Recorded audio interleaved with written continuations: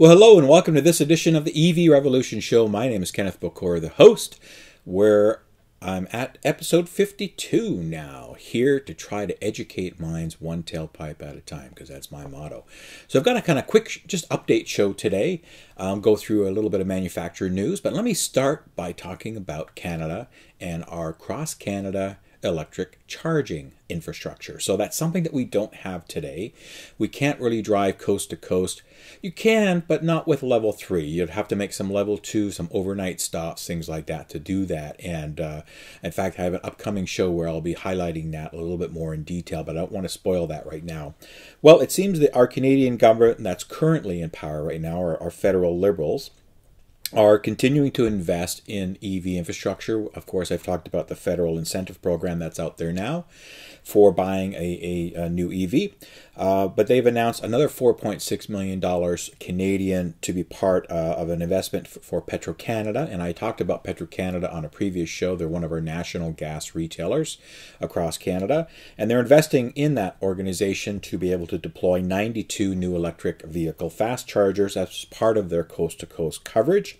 Now, there's uh, you've seen me testing the uh, some of the review cars that I've taken over to the Milton station here just outside Toronto in Ontario, but the actual first online station that will be, uh, I, I, I, believe, will be chargeable that you'll be paying for, will be in. Um, if I've got that right, Stewiacke, Nova Scotia. I don't know where that is, but I love Nova Scotia. I've been there many times.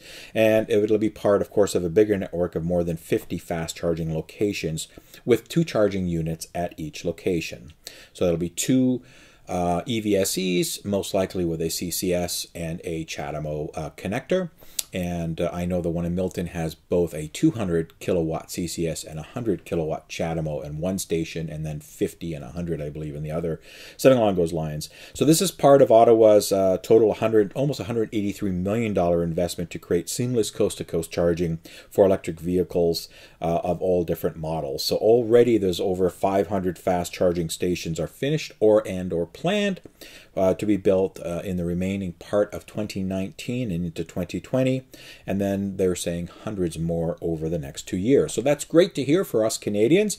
Now, a little word of caution, even though there's money out there that uh, organizations are tapping into, if we do have a federal government change this fall, we do have a national election this year, that could change the funding um, accessibility. So let me say that sometimes these programs could get canceled or could get changed or modified. Or, so it's not 100% for sure that this is going to remain intact. So hopefully uh, organizations are tapping into this so that they can start building more uh, fast charging infrastructure across Canada because it is a beautiful drive. I've done the Cross Canada Drive a couple times myself and it's wonderful. So stay tuned for more info.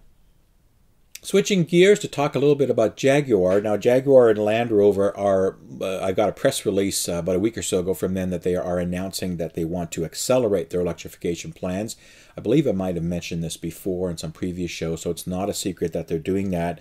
Um, there's a couple of good points to take out of this information. So um, they're, they're, they want to build all their electrified vehicles in the UK, and that's good because there was talk about losing some jobs in the, you know, thousands of jobs from some of the Jaguar Land Rover, Land Rover plants in the UK are now going to be um, uh, stayed basically in there and moved over to supporting the electrified ramp up of vehicles.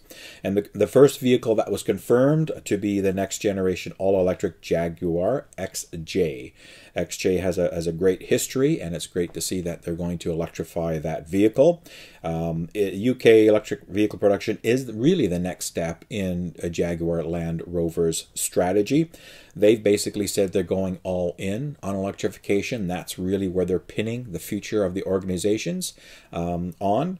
And um, this is really a significant step in delivering on the company's commitment to expand electrified options for uh, both Jaguar, new Jaguar, and a Land Rover model starting from 2020 onwards. So, yes, you will see Land Rover models in a full electrified version at some point in the next decade, which is only next year. So, it sounds like a long way away, but it's not. Now, one of the other keys to hopefully success for Jaguar Land Rover is the battery assembly uh, and a lot of the parts that they're doing now, they're trying to in house and in country as much of the manufacturing process and part supply chain as possible. And this includes a new battery assembly center at Hams Hall, which will go online in 2020. And the capacity for that will be up to 150,000 units a year, at least to start. They don't say what the expansion plans are. Now, they also have a engine manufacturing center in Wolverhampton, which is home to currently to uh, Jaguar Land Rover's global EDU production, and these facilities will be uh, bringing out electrified versions of the powertrains and so forth. So it's all great news.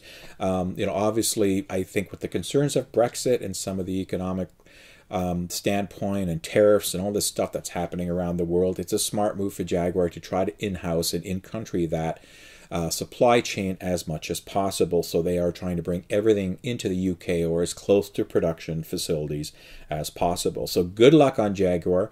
Um, you know, you all saw my feedback on the I-Pace. I thought it was a tremendous, tremendous vehicle. You know, you people kind of bash it a little bit for inefficiencies and you know big big front grill and all this kind of stuff but get behind the wheel of one for a week and spend a week with it you will fall in love folks trust me trust me it's a fantastic car now it's not cheap but you know that's that's the Jaguar name. So all the best to them. Keep on the lookout for more announcement as they as they uh, spin up for uh, for bringing online more models in the next uh, couple of years. Been a lot of news from VW. I did an audio podcast uh, about a few weeks ago from some folks here in Canada, some top folks talking about their plans and a little bit of nuggets of information that was leaked out of that audio podcast. If you haven't listened to it, go listen to it. I don't want to spoil it here. Um, it's a great, great conversation I had with VW, but more information coming out about the ID3. But they are uh, playing the smart move as well. As I mentioned, Jaguar trying to in-house and in-country a lot. Well, Volkswagen's doing the same thing, trying to in-company a lot of that. They have a uh, group of companies that make components called Volkswagen Group Components. This is a global organization as part of the Volkswagen Group, and they are spooling up and gearing up many, many production levels for parts for the ID platform, including the ID3 and the MEB um, chassis and platform that, that those are based on.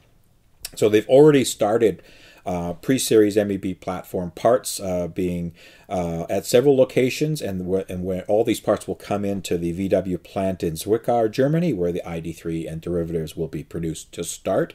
They will be moving to some North American assembly in the next couple of years. I mentioned Chattanooga, Tennessee, as one location in the uh, North America. So uh, things like electric drive units are going to be produced at the Kassel plant, uh, and they're they're targeting up to 500,000 drive units a year. So these are pretty significant numbers to start.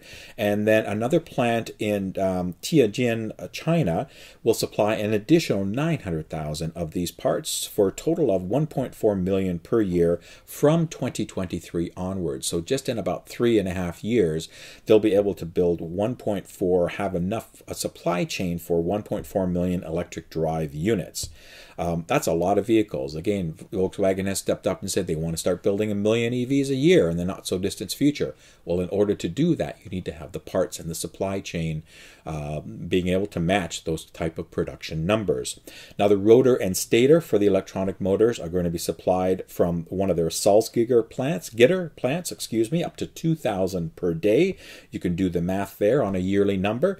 And the MEB systems, for the batteries themselves, are all going to be developed and produced starting in the fourth quarter of this year in the Brunswick plant, and the, the plant capacity for those are up to 2,000 a day as well. So great news to see, you know, as VW continues to move forward in their electrification plans, and I know a lot of people are saying, "Oh, gee, you're talking about VW again, more more air, right? More more announcements. Well, again, you know, in order to build vehicles, you got to have all this stuff set up. You got to spin up everything and get all these, you know, mass parts and everything ready so that when it gets to the production line, it all goes in the vehicle and out the door. So you can't build a car without all the subsequent parts and all the supply chain set up in the volumes that Volkswagen wants to do. It's a big task. Now, again, they are a company that can do that because of their mass and scale and the economies of scale that they bring right away into this. Not like Tesla, where they had, excuse me, they had to build up economies economies of scale and they continue to do that and that's great. But VW has the ability and the capability and the, the monetary funding because they sell other cars right now not uh, EVs so much. They only have a little bit. So they can take that funding invested into BVs, uh, electric vehicles, and bring up those platforms in a much quicker manner. You know, we're only talking, you know, two to four years to really get into full swing of production, and that's quite a lot. I mean, look, Tesla's been building cars since 2009. We're 10 years into it, where they're really only starting to ramp up into the hundreds of thousands of vehicles now with the success of the Model 3. So it's taken them a while. So VW is trying to get to a million vehicles just in about two or three years, let's say two to four years. So they have the capabilities to do that. So keep watching for more announce- announcements, and I do look forward to the final reveal of the ID3 coming this fall. So Mini Cooper, a week or so, a couple of weeks ago, um, launched their Mini E uh, uh, SE, I guess, the Mini Electric Cooper SE uh, fully electric vehicle. So this is a uh, their first really kick at the can at electrified. They had an E option of the Mini before, which was a two seater, I believe, but this is going to be a standard type of Mini Cooper with a uh, 32 kilowatt hour battery pack. Now, before I get into some of the specs, and you know I've talked about this car a few times, so I won't spend a lot of time, but when this announcement came out, I was reading some reviews and looking at articles and stuff like that. A lot of people were bashing this thing because of the range, saying it's just 114 mile range. EPA. That's what it's uh, estimated to be uh, because NEDC or sorry WLTP is in the 165 mile range or something like that. So you know EPA is going to be probably down to to at least 125 anyway. And, and 114 seems low. And not sure if that's actually going to be it. Again these are estimated so you have to read between the lines. When these headlines come out people go oh 114 miles geez. Well that's what we think it might be uh, it seems that a lot of EVs, when you actually get them, you take them on the road. The Kia, uh, the Kia Niro EV, the Kona. I'm hearing about the e-tron. I'm hearing about other models. I mean, even even the I-Pace I thought was uh, a little bit better range than I thought it was going to be. These are all coming hitting the streets with range that are higher than even EPA estimates. So take this with a little bit of grain of salt. However, even if it is 114 miles, I still think that the Mini Cooper is going to be a great selling vehicle. For one, there's a lot of die-hard Mini fans, a lot of people that like that model line. And for European tight congested cities, even here in North America for large urban centers, zipping around in a smaller vehicle like that with 114 miles a day it's more range than you usually need to get around in urban environments. You know, the average is 30 to 40 miles, 50, 60 kilometers, whatever you want to call it, a day. So that's more than enough for your average uh, driving range. Um, so it should do fine. 0 to 62 or 100 kilometer an hour in about 7.3. That's right in the average line. Um, and again, that range. Now, for some other specs, it's going to support 11 kilowatt maximum uh, capacity for level 1, level 2 charging. So you can get to a full charge in about three hours, they're claiming, or 80% in two hours. And then if you go to a, a DC fast charger, uh, it can charge up to 50 kilowatts, uh, which is the norm right now for DC fast charging. CCS combo, and that translates to about 80% in about 35 minutes. So, you know, again, a little smaller package, a little quicker charging time, so that if you do road trip or do need to do longer distances, you don't have to wait so long, and it will have thermal management and all that good stuff that we're used to seeing for for battery systems today. Um, deliveries are going to start at the beginning of 2020. They might actually even squeeze some out at the end of this year. They are taking pre-orders now. It's good to see that Mini is doing something. And uh, if somebody does have a reservation and gets more information on time frames on this, send me an email. I'd love to or comment. I'd love to hear from you. And last on the show today is the MG ZS EV. And I'm really stoked about this. Uh, shout out to my friend James and Kate out in the UK. James did a nice little live feed yesterday where he got access to an MG ZS EV for a little bit and did some filming and answered some questions. So thanks, James, for putting that together. It was great to see a little bit more detail on it. Um, but this car is something I'm super excited. I started getting excited when I was in the UK a couple months ago, hearing and talking to people about this. But this is something that MG is very, very firm on that they're not they're not really really, this isn't a brand statement or a vanity type of gig for them. They're here to sell electric cars uh, and they want to do it big. And I you know, if anybody has a chance, talked about VW earlier, I think these guys do too, to do some decent quantities. This car is coming really well equipped, you know, a compact SUV type form factor, which is all the rage these days, as I've said over and over again.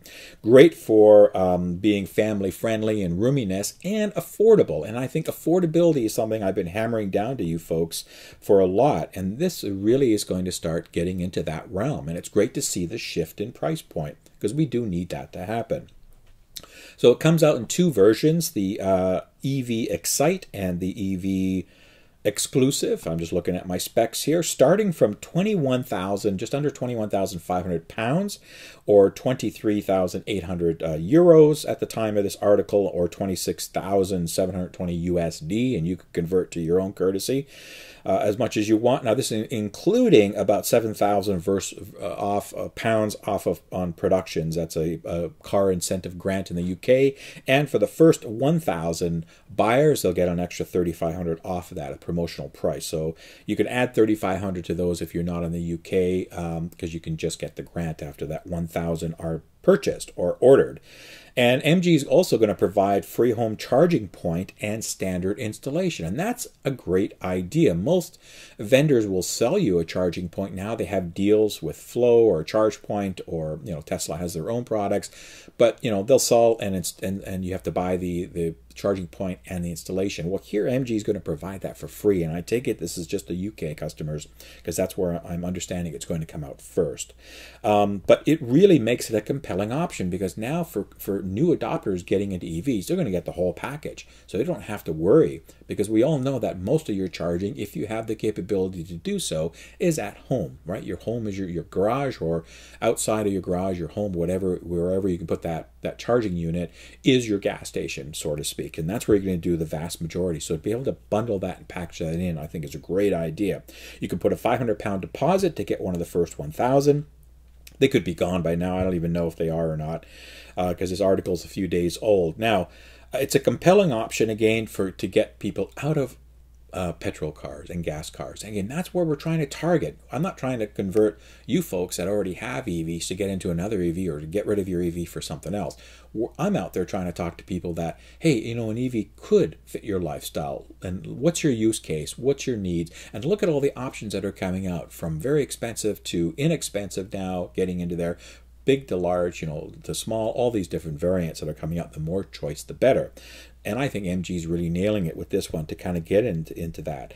Um, and one of the other things before I get into some more of the specs is they have the scale uh, to be able to deliver 300,000 of these at least to start because uh, they're going to be built in China at a Chinese factory and they should be able to scale to 300,000 providing they have enough battery cells. And there's a lot of battery cell manufacturers in China. Of course it's a huge market so the market's really taking its demand but they continue to increase capacities and increase production uh, uh, rollouts. So I think that they're going to be safe and to be able to ramp up to those numbers at least within the first couple of years now, and, also they're offering a seven-year warranty on the vehicle. So, you know, this is again, I, am not that familiar with the Chinese market itself in-house. I, I don't know what the standard warranties are within China. I don't follow that market because it's huge. It's the biggest market right now in, in globally for EVs.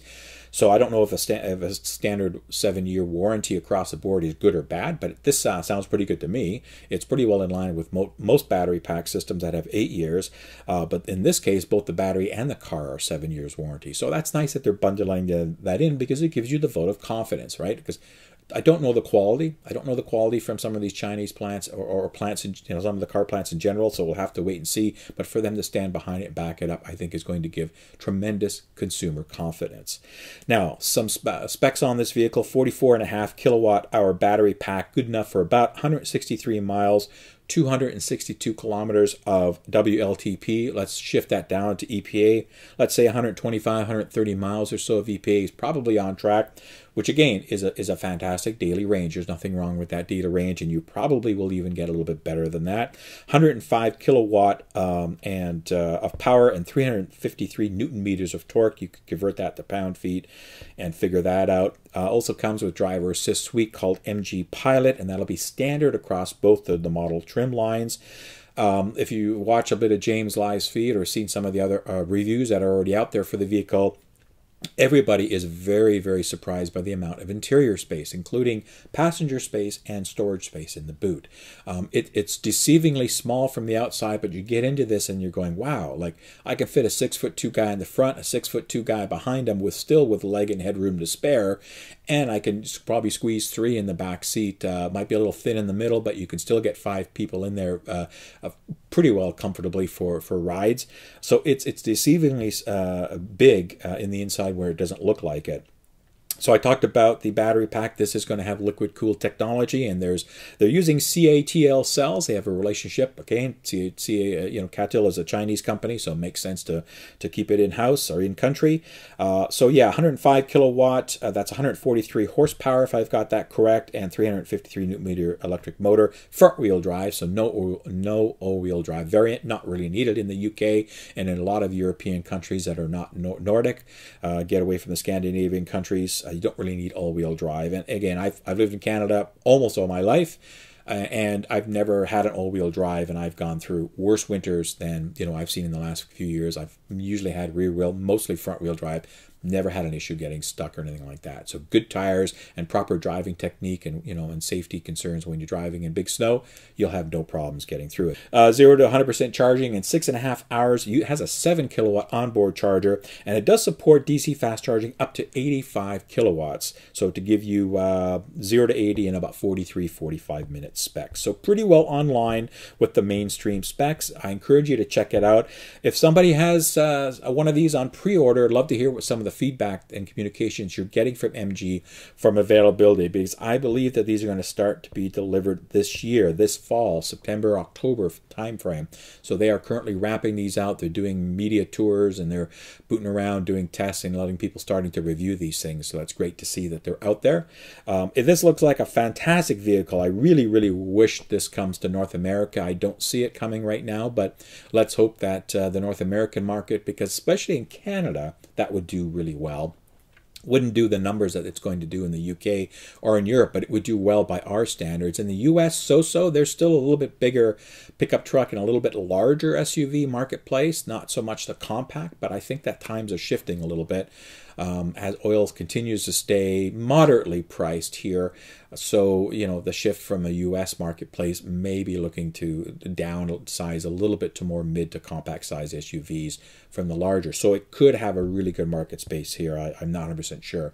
looks like a great vehicle. I think, you know, from what people are saying, not only the interior space, but the fit and finish and the quality and the options that are coming with this, you know, a, a sunroof, the moonroof that opens up and tilts and, and slides and all this stuff, you know, for, for something of this price point, you know, 30K or, or less, uh, local currency, I mean, that's pretty awesome in my opinion. But that's without any incentives too. So this is going to do, I think, really well. Um, I'm excited about it. I hope that uh, some of my friends in the UK will get a chance to actually drive one and uh, do some fuller reviews. And as I see more stuff come out, but this is certainly a winner in my eyes. It's, it's really starting to close that gap from an affordability and a and a use case and and the necessary elements in an EV to make it worth uh, new adopters, especially to get into. So keep your eyes on MG, and uh, I wish them all the best. All right, that's it for this show. Short and sweet. Just a few uh, things to talk about. I've got a, a, surprising show that'll be coming up in the next uh, week or so. I don't want to give too much detail away. It's going to be an interesting look at a vehicle that I have had a chance to look at yet. So uh, stay tuned for that. But thank you very much for watching this episode 52 of the EV Revolution Show, where educating minds one tailpipe at a time is what I tried to do here. Again, thank you uh, to all who like, support, comment if you don't like it, that's fine. You know, every show I always get a handful of so uh, uh, thumbs downs and stuff like that. Whatever, that's fine. It Doesn't bother me. I can't please everybody, but I do thank the vast majority of people that uh, write in and tell me uh, that they like what I'm doing and they ask questions and they, they provide additional info, which is great to share with everybody. So thank you for keeping the comment section pretty active. I really appreciate that. Uh, again, uh, thank you. For, I'm humble, always humbled by my Patreon supporters. if you don't know what that is, go check out the site at Patreon Patreon and my link there. And, uh, you know, even a dollar a month will help. If you feel that you want to contribute to supporting me to continue my endeavors here, that would be much appreciated. Uh, thank you again for that. And for everybody, thank you for taking the time to watch my show. Uh, my contact information and thank yous for Patreon support is coming up at the end credits here. So you'll get all that. Please feel free to email me or reach out to me if you have questions, comments, things you want to share, information. I get all kinds of stuff coming to me, which is great. I hear from a lot of people that uh, some of their stories and they're sharing with me on, on their electrified journey. So thank you very much for that. And until the next show, everybody, please stay safe and I'll see you next time. I'll see you when I see you. All right, bye bye.